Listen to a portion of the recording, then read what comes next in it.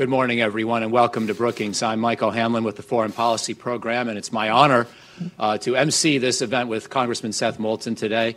Uh, Seth is beginning his third term in the 6th District in Massachusetts, uh, which includes his native town of Marblehead. He is, as many of you know, a four time Iraq War veteran who joined the Marine Corps after graduating from Harvard and before that, Phillips Academy uh, studying physics at Harvard and deciding that with all that background, what he wanted to do most was serve his country, not knowing that 9 11 was just around the corner. Uh, I, I think many of us know about Seth's very important work in Congress. Uh, he's received awards for among the most effective, uh, I think the most effective freshman member a couple of years ago. Also, he's worked on issues such as getting veterans their health care faster, making government more efficient in seemingly mundane but important matters like travel. These are some of the bills and, and subject areas that he's worked on. He's been important, of course, in the last few months in kicking off a big debate in the Democratic Party or contributing uh, in a way that's often been controversial, but I think admirable and necessary about what the party's priorities should be. And now he's even getting mentioned occasionally in the presidential speculation about 2020. And I'll leave it to you to decide if that topic comes up today. I'm going to focus more in my discussion with, with Congressman Moulton on national security. But first, he will give some uh, remarks to frame his thinking about the nation's defense priorities and foreign policy priorities in this important time as the Democrats now uh, take in charge of the House, and we have a need for a whole new uh, debate with new people and new voices.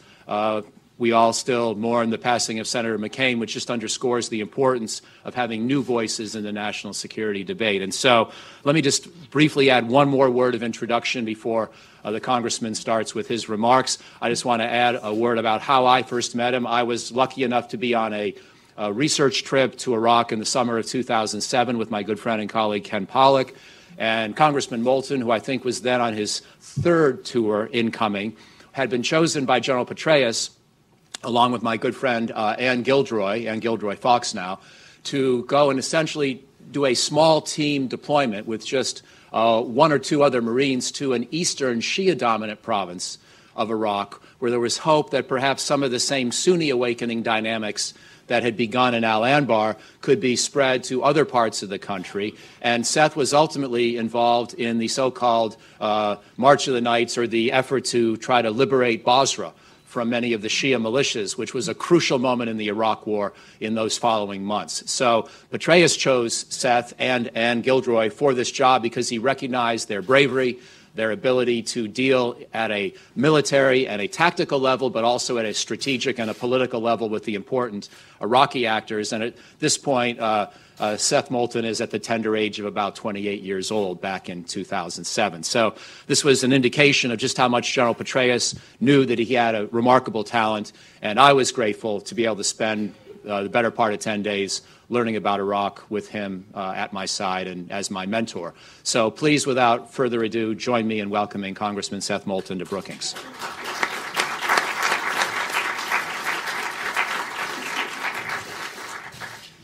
Mike, thank you very much.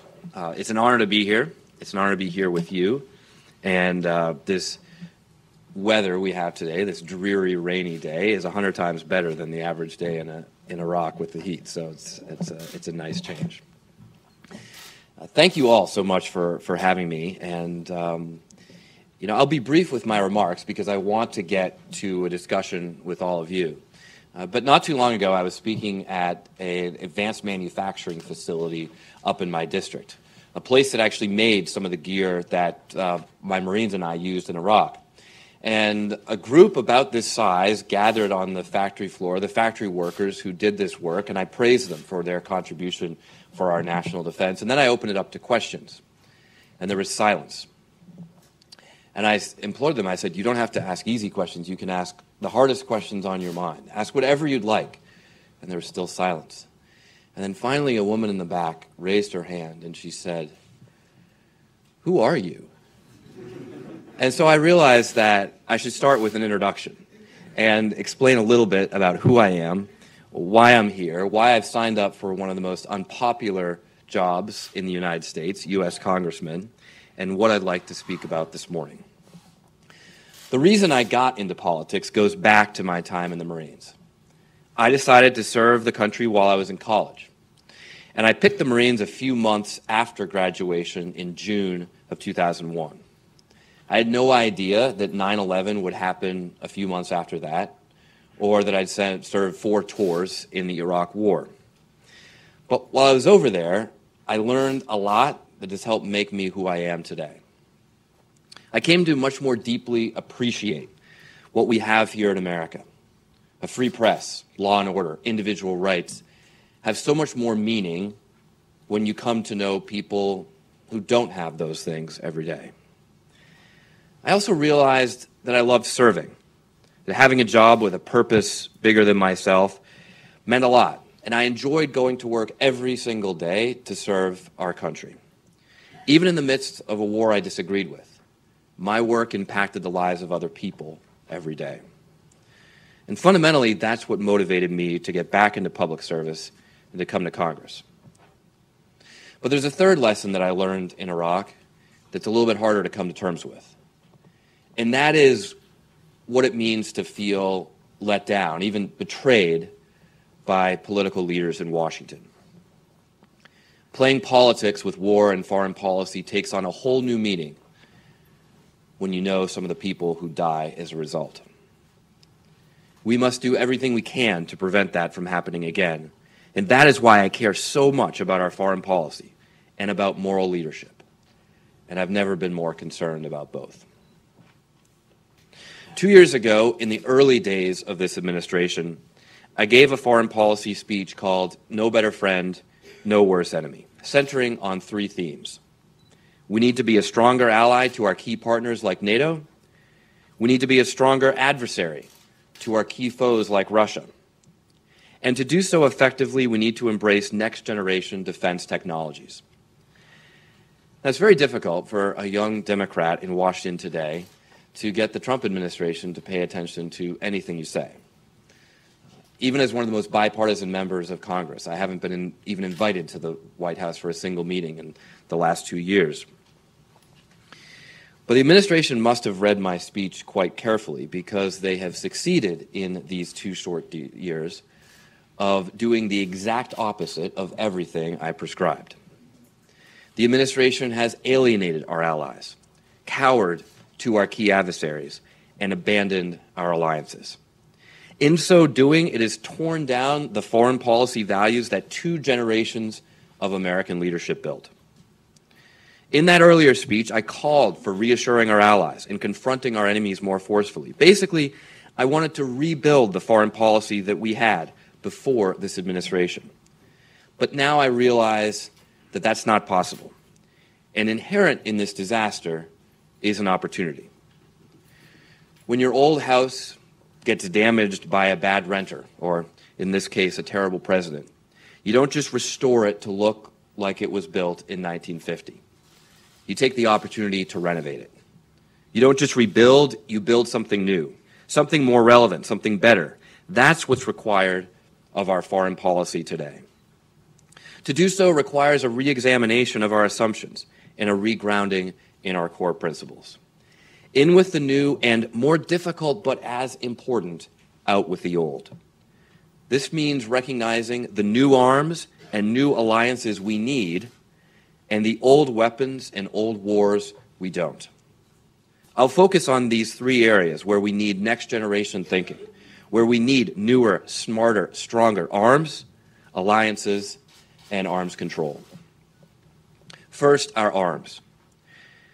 There were times when I was fighting on the ground in Iraq at the pointy tip of the spear, as we like to say, and our insurgent or terrorist enemies were beating us on the internet. That was unacceptable then, and it's worse now. We have to stop fighting today's battles on yesterday's battlefields. Today, we face great power competition from two adversaries like we haven't seen since the lead up to World War II. And we run the serious risk of being entirely leapfrogged by China and Russia with new technologies. China is not trying to compete with our 11 carrier Navy by building 12 or 13 or 14 of their own. 1,238. That's the number we should have top of mind. That is our best estimate for how many Chinese anti carrier missiles you can buy for the price of one U.S. carrier. Here's another way to look at our colossal surface navy. I asked the CNO in a hearing a couple years ago, how many times have the Chinese attacked a U.S. carrier? Never, sir. How many times have the Chinese attacked us through the internet? In the last 24 hours, sir? The punchline is this we're investing 16 times more in carriers than in cyber. We need to re examine that balance. And I'll also point out, with regards to the South China Sea, that it's a lot harder to sink an island than an aircraft carrier. We need to ask the same questions of our massive financial commitment to the F 35. I'm more worried about how soon we can field the F 45 or PCA, which may not be manned. And so on with the other services as well. I think Russia and China actually have an inherent advantage over us by being more budget constrained and less politically constrained by the military industrial complex. They don't have the luxury of trying to compete with our big, expensive legacy weapon systems. So they have to develop the smaller, cheaper, next generation weapons to defeat them. Having no real response to China's plan to be the world leader in artificial intelligence, or AI, by 2030 is unacceptable we need to dramatically up our investment in autonomous, hypersonic, and cyber weapons to compete and win. We also need to ensure that we maintain the fundamental investments in our country that have always been critical to our national security basic scientific research, education, and immigration. These policies have driven our defense dominance for a century, but today I'm worried. Paying for these investments will require us to make some hard choices about legacy weapon systems we can no longer afford. Second, I'd like to talk about arms control. While I feel we are woefully behind in making the commitment we need to next generation arms, at least we are starting to discuss it. I haven't heard anyone discussing next generation arms control at all. And here's why it's so important. Most people think of arms control as purely a way of making us safer by decreasing the number of weapons owned by everyone.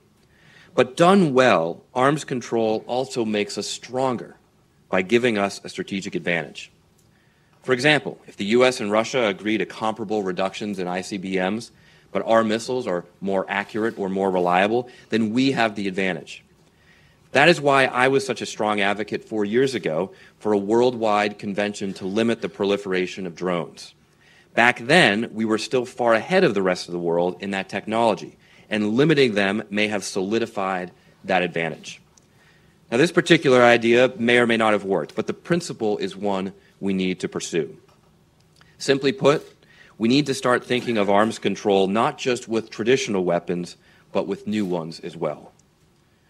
Authoritarian regimes have an inherent advantage in developing AI weapon systems because one, surveillance gives them much uh, bigger access to much bigger data sets, and two, they are not necessarily beholden to the same moral principles controlling their employment. Much sooner than later, we'd be wise to consider what kinds of arms control over autonomous weapons powered by artificial intelligence will make us safer. Third, alliances. This is where the analogy of the destructive house renter is most apropos and where an entire renovation is required. In the wake of Trump's handling of NATO, many will call for re strengthening that alliance, and I am among them. But NATO was established under 1949 rationale. Just as we're not going to counter Russia's amazingly successful work at undermining democratic elections by simply refurbishing our nuclear arsenal, we need to rethink the strategic role and purpose of NATO. Now is the opportunity, presented to us ironically by this administration, to renovate and strengthen it for a new world. Likewise, we should be re examining our troop commitments to places like Japan and Germany. And we should be asking whether it makes sense to establish a Pacific NATO to counter China.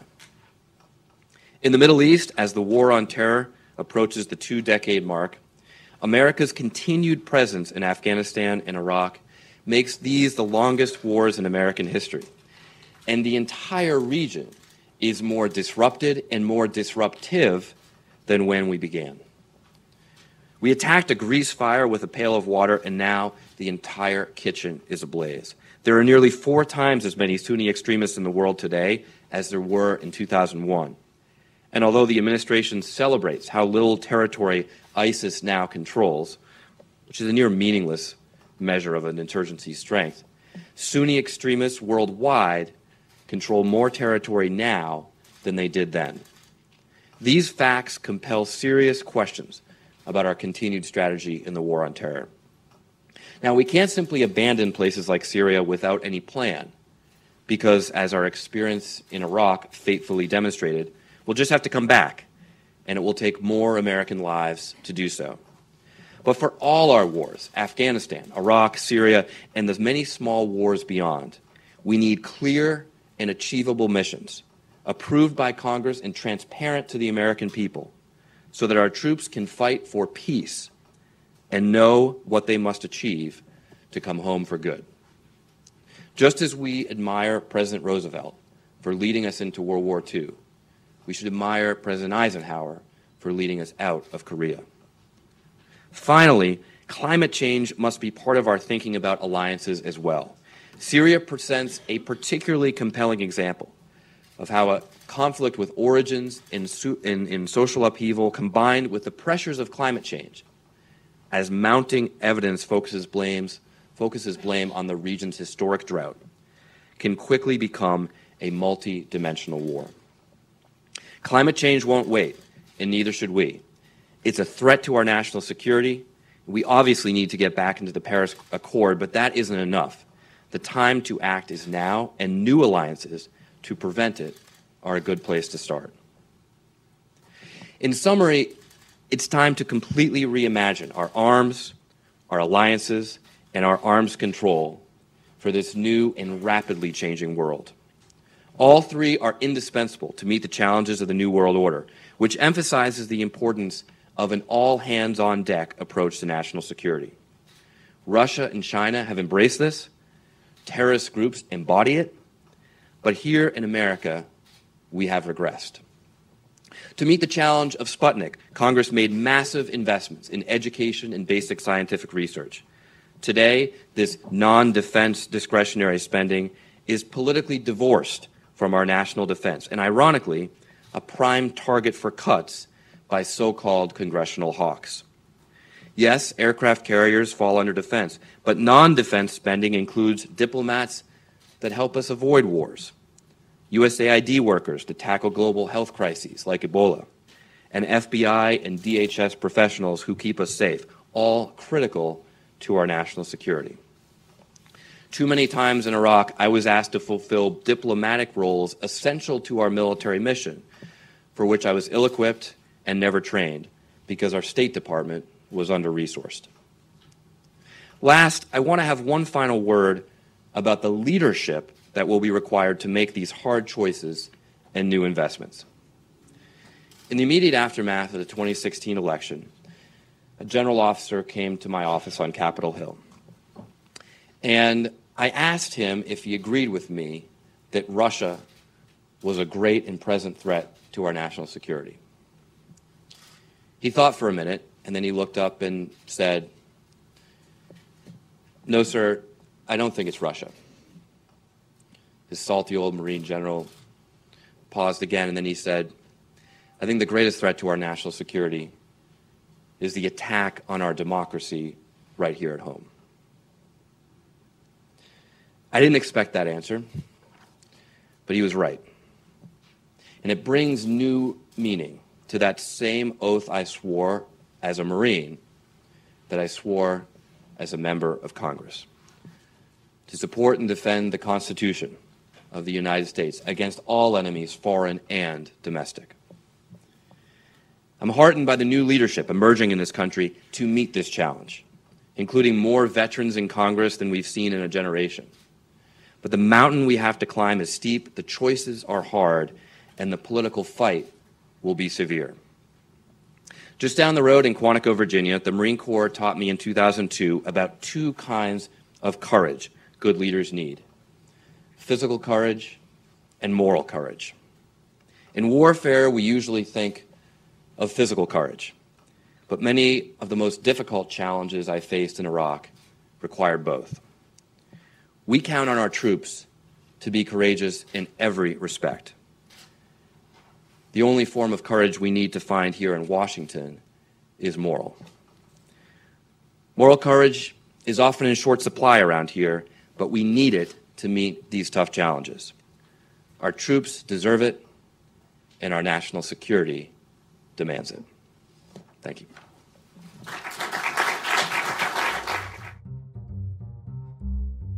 Thanks for watching. Be sure to like and subscribe for more videos from Brookings.